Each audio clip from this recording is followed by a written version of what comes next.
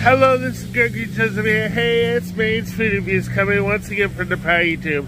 So guys, we're, this is the first official snowfall of the year in Waterville, Maine. So, this is what it looks like, Guys, if you guys can see, we got snow. It is at 7 uh, 7.45 this morning. Uh, they said that um, the roads are really bad. It doesn't look bad in Waterville on the main roads, but it is a little slippery.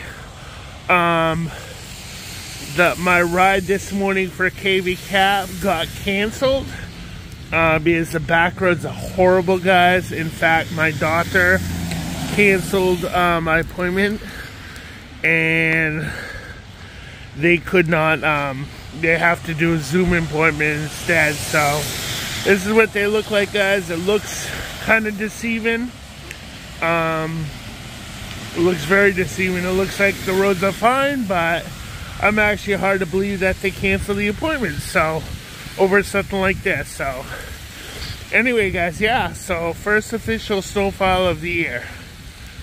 So this is what it looks like. Uh, there's maybe not even an inch of snow, less than an inch, maybe three, four centimeters. anyway, guys, yeah, so this is Maine's Food Reviews. For more additional content, remember to subscribe, like, hit the notification button. As always, peace out. Have a good day, guys. God bless.